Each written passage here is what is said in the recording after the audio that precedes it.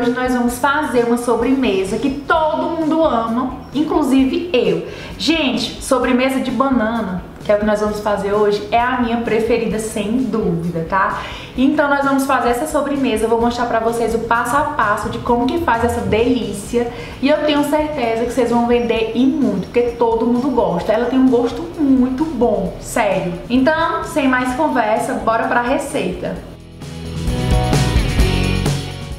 Para começar, nós vamos fazer um creme branco delicioso, tá? Nós temos aqui 800 ml de leite integral. E por que que eu digo integral, gente? Eu prefiro o integral ao desnatado, porque ele é mais concentrado, ele deixa a receita mais gostosa, tá? Duas caixas de leite condensado, duas caixinhas de creme de leite, 80 gramas ou 8 colheres de sopa de leite em pó. Eu tô usando leite ninho, mas vocês podem usar o leite em pó que vocês preferirem. 3 colheres de sopa de amido de milho. Eu pesei aqui e deu 36 gramas, tá? Uma colher de sopa de essência de baunilha e uma pitadinha de sal. Gente, mas é bem pouquinho mesmo. É a pontinha de uma colher de café, daquelas colherzinhas assim bem pequenininhas, tá bom? Só pra dar um gostinho assim todo especial no nosso creme branco. Então vamos lá, gente. Em uma panela, né, antes de levar pro fogo, eu deixo até aqui em cima do balcão, porque se eu deixar em cima do fogão, vezes vocês pensam que tem que ligar o fogo logo e não pode, tá? Vamos logo adicionar aqui, ó, o leite condensado.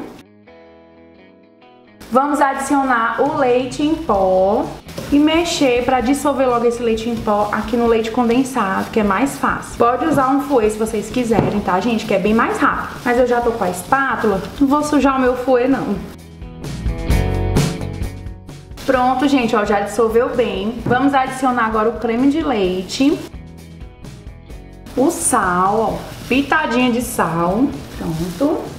Agora nós vamos colocar o amido de milho aqui dentro do leite, tá? Pra gente dissolver logo ele muito bem. Vamos colocar ele aqui, ó. Às vezes eu deixo só um pouquinho de leite, né, pra ser mais fácil. Mas eu vou fazer assim porque dá certo também, tá?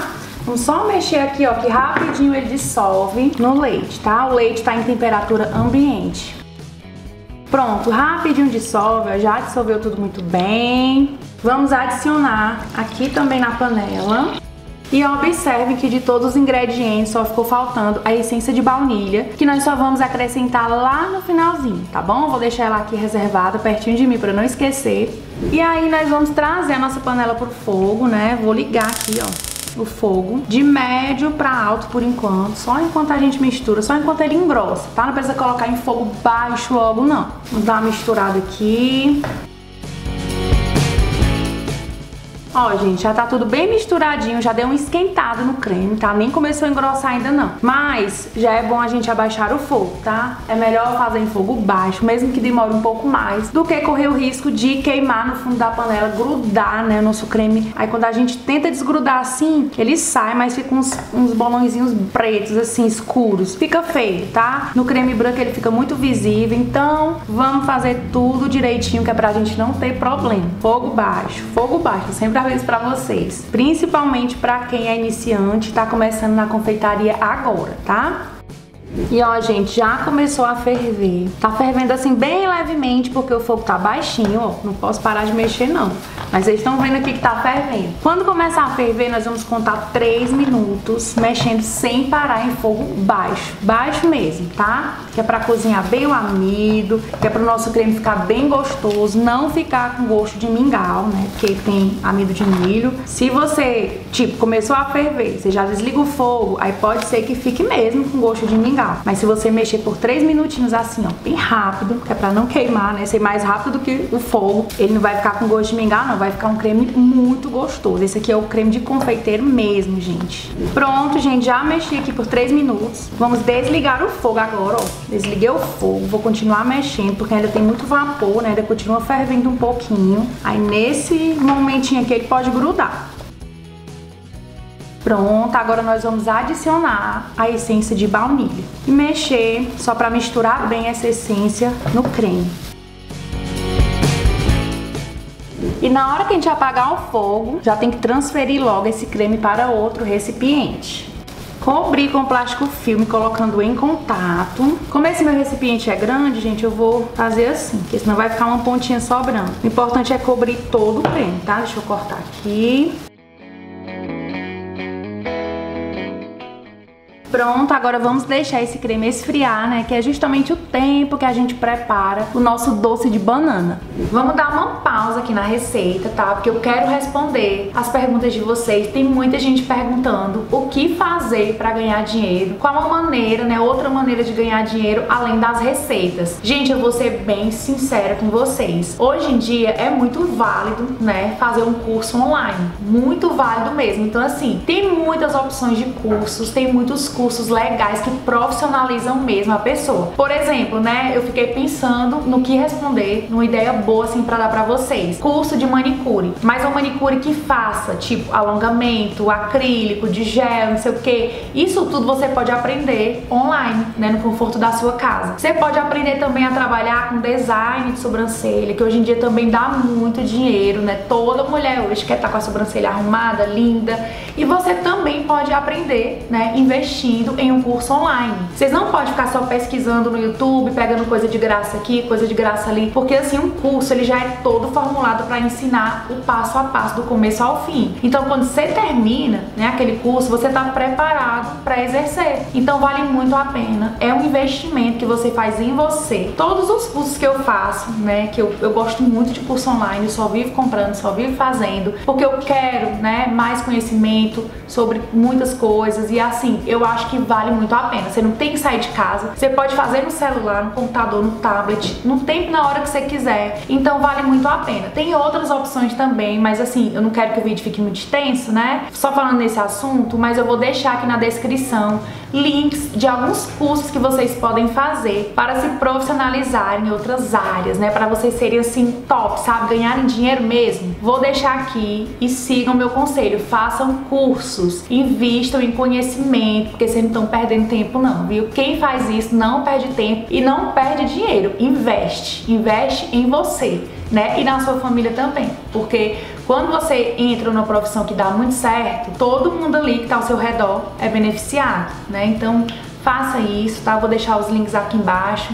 Estude, profissionalize. Os cursos que eu deixei, eu conheci, né? Pesquisei, procurei saber tudo de pertinho para ver se realmente valia a pena e vale. Então compre sem medo, tá bom? Quem tá indicando sou eu e eu não indico nada aqui que vocês não vão gostar, que possa dar prejuízo, que não vale a pena. O recado é esse, bora voltar para nossa receita, né? Bora trabalhar. E para fazer o nosso doce de bananas, né, ou banana em calda, nós vamos precisar de 600 ml de água e duas xícaras e meia de açúcar, tá? Eu pesei, gente, deu 536 gramas, tá? E a minha xícara xícara, a medida da minha xícara é 240 ml. E aqui eu tenho bananas, as minhas bananas são bem pequenininhas. E assim, eu acho que é melhor fazer esse doce com bananas mais finas. Não precisa ser tão pequena, mas aquelas muito grossas não fica legal quando a gente for colocar no potinho. A não ser que você vá fazer uma travessa, né, e servir para sua família ou visitas. Mas para vender, dê preferência a bananas fininhas, tá, gente? Pode ser maior, como eu já falei, né, maior do que essas, mas tem que ser fininhas para ficar as rodelinhas rodelinhas mais bonitinhas, enfim, pra ficar uma sobremesa super linda. Então vamos lá, eu já cortei as bananas aqui em rodelinhas, tá? E vou adicionar aqui na minha panela o açúcar. Ligar o fogo. Vou deixar em fogo alto mesmo, gente, por enquanto. Daqui a pouquinho eu baixo, tá? Dá uma espalhadinha aqui e nós vamos esperar esse açúcar começar a derreter. Ó, gente, já tá começando a derreter aqui, ó, vocês estão vendo? Aí a gente começa a mexer, que é pra esse açúcar derreter por completo.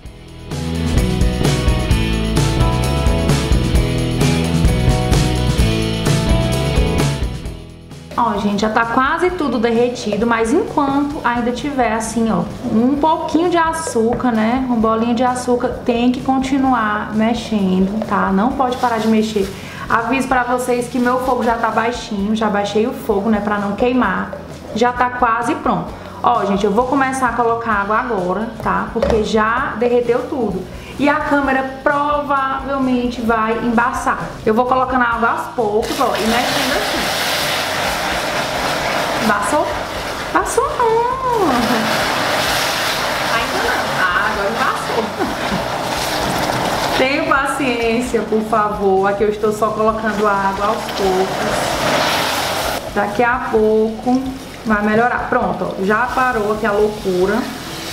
Já coloquei toda a água. Agora eu vou só mexer para derreter os torrõezinhos de açúcar que fica, né? Porque embola tudo aqui, vocês sabem. Eu vou mexer até derreter tudo. Lembrando que está em fogo baixo, porque eu não quero que queime minha calda. Não quero que ela fique com gosto de queimado, de açúcar queimado. Então, vamos mexer aqui em fogo baixo, bem lentamente. Dá tudo certo. Pronto, gente, já derreteu tudo aqui, ó. Eu só vou deixar ferver um pouquinho, porque eu quero que essa calda engrosse mais.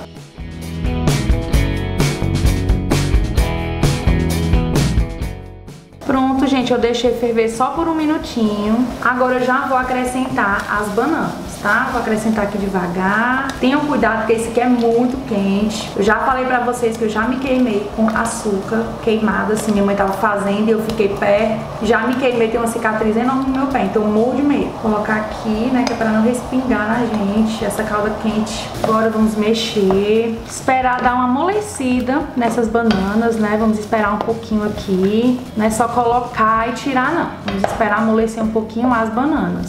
Gente, eu já provei aqui minha calda, viu? Peguei com a colher, deixei esfriar e provei e ela tá uma delícia. Não tá queimada, tá uma delícia. E tá na consistência certa, na consistência que eu quero, né? Que eu preciso que fique. Então eu vou deixar alguns minutinhos aqui, tipo uns 4, 5 minutinhos, essas bananas cozinhando. Eu já deixei fervendo aqui por 3 minutos, né? Pode ser de 3 a 4 minutinhos porque não pode derreter, tá, gente? As bananas têm que ficar inteirinhas. Então vamos desligar o fogo até porque a calda tá quente, então elas ainda vão ficar cozinhando nessa calda até a calda esfriar. Então esse tempo aqui já tá bom. Vamos esperar esfriar pra gente começar a montar a nossa sobremesa. E os potinhos que nós iremos utilizar são esses daqui, gente. Eu vou mostrar primeiro o potinho, depois eu mostrar a embalagem pra vocês. Ele é um potinho super lindo. Ele é de um acrílico assim bem frágil, tá, gente? Mas ele é bem transparente, bem brilhosinho. A tampinha dele é um pouquinho alta, o que deixa a sobremesa bem linda né, gente? Porque dá pra gente colocar assim uma camada assim mais alta, né? Pra ficar mais chamativo. Dá pra colocar uma etiqueta aqui, só que hoje eu não trouxe etiqueta pra vocês, tá, meus amores? Infelizmente. Ó, gente, a embalagem é essa. Podem usar o potinho que vocês preferirem. Eu tô dando aqui só uma dica e mostrando o que eu estou usando. Podem usar potinhos mais baratos, podem usar qualquer tipo de pote, qualquer tamanho, qualquer marca. Mas eu estou usando esse daqui de 180ml, tá? E esse pacote contém 10 unidades de potes. Vamos usar esse potinho aqui e nós já vamos começar começar a montar a nossa sobremesa. Vamos começar colocando nosso creme branco no fundo do potinho. Pronto, essa quantidade aqui, ó, já tá boa. Aí nós vamos dar aquela velha batidinha que é pra quê? Pra descer tudo, pra preencher todo o nosso potinho.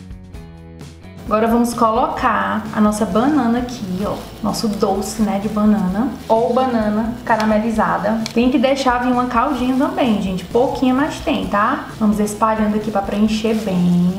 Vou pegar agora com a colher, que é pra poder vir uma caldinha também ficar aqui. Pronto, tá bom. Essa quantidade aqui já tá maravilhosa. Agora mais uma camada do nosso creme branco, né? Delicioso. Aqui eu não vou dar umas batidinhas, não. Eu vou só ajeitar aqui com a colher, pra fechar bem, deixar mais plano, né?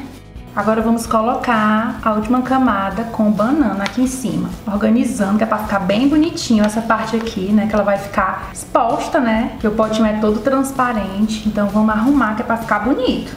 E ó, gente, nós estamos fazendo assim, né, até o limite do potinho, até passando um pouco, porque a tampinha é alta. Se a tampinha fosse rente aqui, não podia ultrapassar o limite do pote, pelo contrário, tinha que ficar tipo um milímetro aqui, faltando pra encher o pote. Mas dessa maneira aqui, como a tampa é alta, dá pra gente fazer assim. Mesmo assim, quem não quiser fazer assim, deixa rente, deixa menorzinha, que é pra não correr o risco de derramar, né, quando a pessoa colocar a colher e tudo. Desse jeito fica mais bonito, mas não é obrigado a encher tanto assim, não.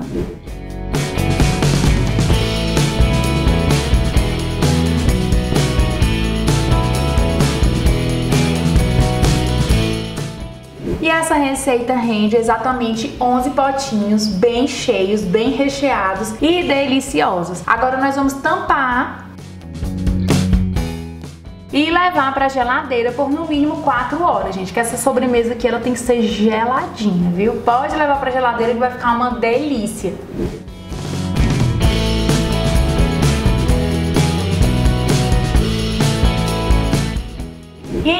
É isso, meus amores. Eu espero muito que vocês tenham gostado desse vídeo, né? Realmente ficou uma delícia, uma tentação pra mim. Ainda bem que eu não tô de dieta, né? Não tô nessa vibe agora, não. Porque, olha, tá gostosa, viu? A sobremesa tá irresistível. E quem gostou dessa receita, não esqueça de deixar like pra mim, gente. Like ajuda, tá? Quando você curte esse vídeo, né? Quando você curte um vídeo, você faz com que o YouTube indique ele mais vezes, né? Que é pesquisado. Então você ajuda aquela pessoa que tá gravando o vídeo. Então eu peço pra vocês que dê like pra mim, se inscreva no canal, se inscreva no canal, ative o sininho das notificações para não perder nenhuma novidade, tá bom? Um beijo, que Deus abençoe a vida de vocês, as vendas, né, os projetos, tudo que vocês fizerem, seja muito abençoado, tá? Eu desejo isso assim do fundo do meu coração, de verdade.